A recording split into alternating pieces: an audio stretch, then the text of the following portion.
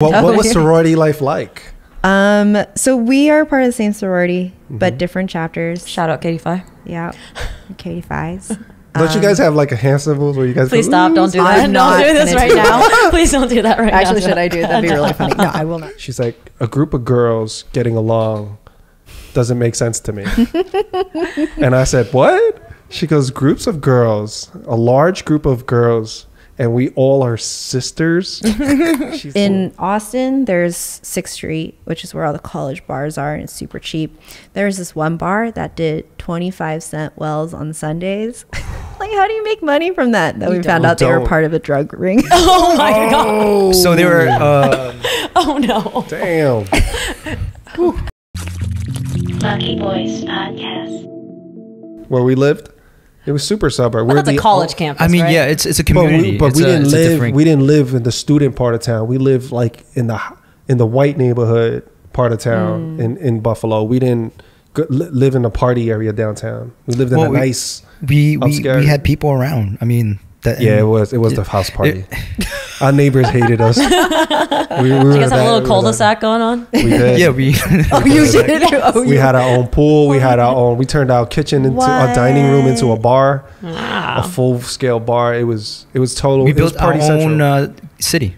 Wow. Very nice. It was a huge house, and we it was like three levels. Was it four levels? or Wow. three, Three Three. levels. Three. Yeah. Yeah, and we just have parties, and Three people levels. were Wow. partying all different levels. It was so like so. The thing back in the day, where like people hit up the clubs, the frat parties, Yeah. the sorority parties, and the clubs. Mm.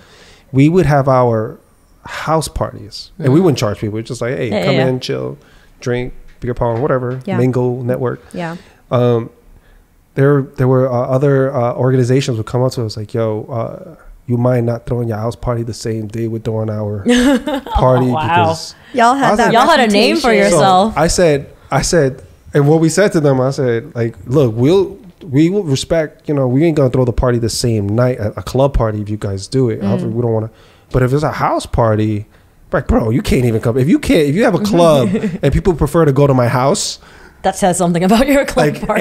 hey, you know, I, my house party ain't the problem. I mean, the You free know. drinks kind of mattered, right? So- That's true. That's- the club drink that's- prices were a little Oh, bit brolic. man. To That's think of. I, as we were talking about this, and I just like think back to college club party days, especially Cringe a little. Yeah, because especially you know, having been in a sorority, an Asian sorority in college, and having to throw club parties for fundraisers or whatever it may be. I Should we do that like- for Welcome to guys know Chinatown? Should we do that for Welcome to Chinatown? No. You want to throw a club? Wait, let's talk about Post- sorority life. What, what was sorority life like? Um, so we are part of the same sorority, Mm-hmm. but different chapters. Shout out KDPhi. Yeah, KDPhis. Don't you guys have like a hand symbols where you guys? Um, Please go, stop. Don't do I'm that. Don't do this right now. Please don't do that right now. Actually, should I do it? That'd be really funny. No, I will not do it. Um, for I actually wonder if our sorority experiences were the same because we went to state schools. Mm. Yeah, because Right. we were a little larger. Yeah, because you know, so so the state school experience was awesome, especially in Texas, Maryland, where people love the school spirit, the school culture, um, tailgates, football games, the whole shebang. In Texas, especially, there's a lot of old sororities who have these mansion houses and everything like that. Um, so it is, it kind of does fit that stereotypical mold that you think about. Wait, did you guys have the mansion house? No, we didn't. We were an Asian sorority. We had Oh. money. Yeah, there was there was no funding No, for because that. I figured KDPhi is big. Katie Yeah. Fi's And big, but have- I didn't know if you guys had any uh like like like uh what's that um Legacies. uh what's that funding, Are you like thinking alum, Yeah, yeah, alum chapters, alum- right? alum- yeah, Oh. where they're just like, hey, here's a bunch of money, go get a mansion. And, Well, now that I'm alum myself, I don't want to be throwing money. At Yeah, we'll get you a house. Yeah, you know? We're still practical Asians at the end of the day. um, so, I mean, yeah, like th- there was a lot of house parties. Actually, a lot of house parties similar to the ones that you were describing. Describing, you like a lot of house parties. Yeah. Those those were the more fun ones to go to. yeah. yeah, Yeah. they were way, way better. but there club was still parties. just the same amount of club parties as well Yeah. for fundraising. In Austin, there's Sixth Street, which is where all the college bars are, and it's super cheap. There's this one bar that did 25 cent wells on Sundays. like, how do you make money from that? That we found out they were Don't. part of a drug ring. Oh my god! So they were. Uh, Oh no! Damn. So they were washing money. you know. Yeah. with the Yeah. 25 cent. That makes sense though. Yeah. But you could get and then there was, you know, two dollar Jaeger bombs at this other club that we used to go to called Latitude. So you really only just go for the drinks. And uh, it when uh, when I first started dating my husband at that time, he came to visit me and Austin, and so we went out with our friends and everything.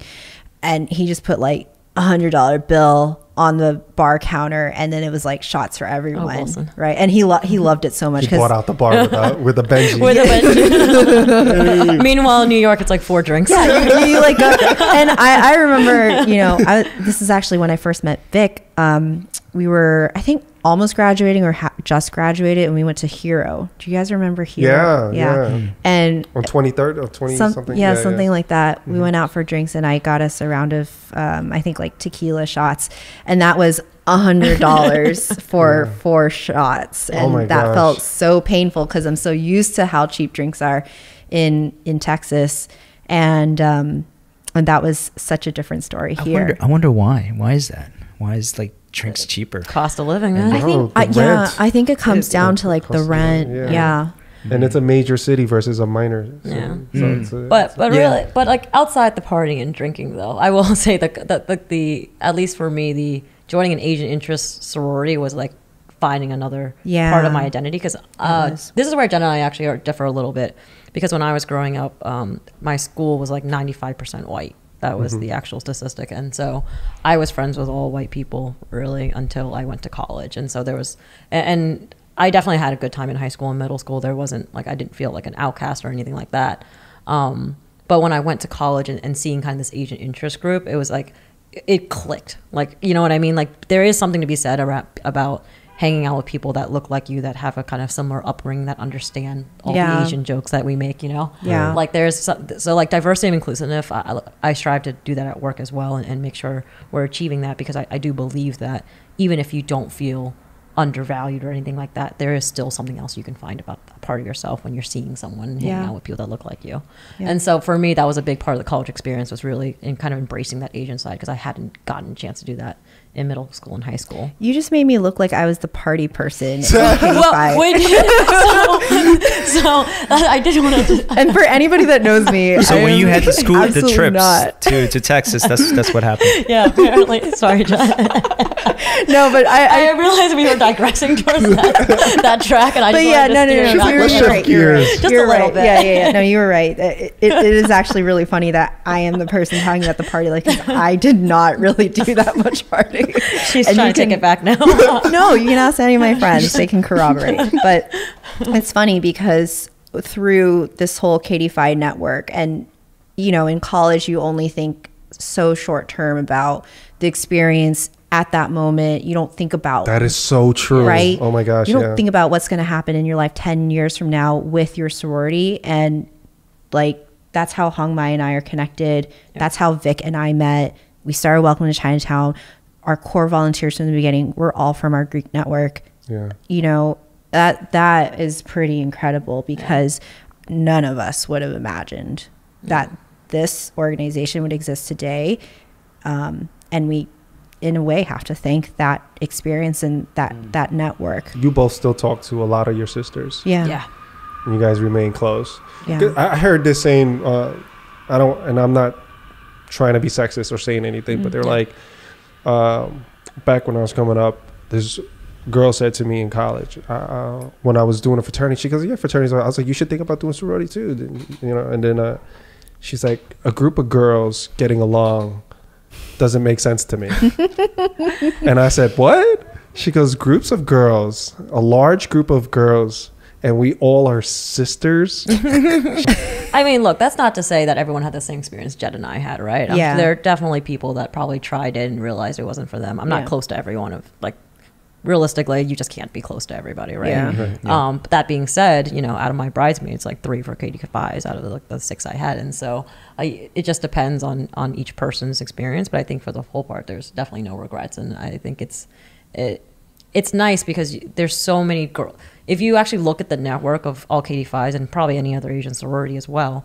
You see people doing such cool things, Yeah. and you're almost kind of like inspired and being like, oh, like she has a similar like background as me and whatever, and, and she's doing all this cool stuff. And so you're almost kind of giving yourself more networks and more people to kind of inspire you. And so I think that's the kind of one of the beauties I got from it. Yeah, and yeah, my my some of my best friends are girls I met through KDPhi, and you know, we we we know that we are going to experience the rest of our lives together, um, side by side, and you know, beyond the friendship too. Um, I did also, yeah, I would I would say I learned a lot about just uh, being a more confident speaker, like Yep. prof- like applicable practical skill sets that I used in my professional career um, that I learned from KDPhi because you do have to do these kind of like uh, tasks that at that moment in time, fundraising, for example, Oh God, no one likes fundraising. bane of our existence Ugh. during that that worst. I remember. sort- right? I remember yeah. those days. No, I like making money, so I, I was. We I was- I was- I was- fundraising we were- chick. we were I was- I was very treasurer. successful.